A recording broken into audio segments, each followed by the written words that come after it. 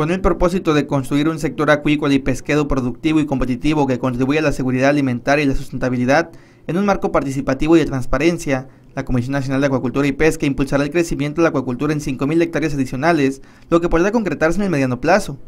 El titular de la Conapesca, Mario Aguilar Sánchez, apuntó que con el fomento en este año en la acuacultura se contribuirá a alcanzar la meta de producción por ese sistema de 394.000 toneladas anuales propuesta para el 2018.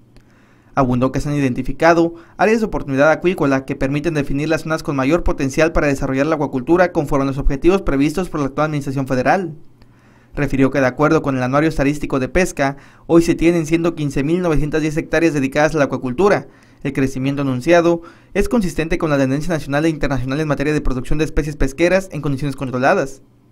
Están identificadas en todo el país alrededor de 20 millones de hectáreas con aptitud acuícola, principalmente por las especies de tilapia, camarón, moluscos, peces marinos, bagre y trucha, por lo que en los próximos años la acuacultura seguirá siendo uno de los principales sectores en nuestro país.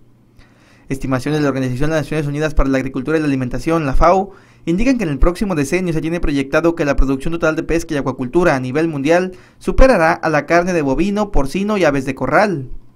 Cabe señalar que de 2014 a la fecha se han apoyado 95 proyectos, lo que muestra el proceso de fortalecimiento que ha venido registrando la acuacultura en México, lo que ha significado un incremento de 1.963 hectáreas de producción, principalmente para las especies de camarón, tilapia, bagre, trucha y ostión.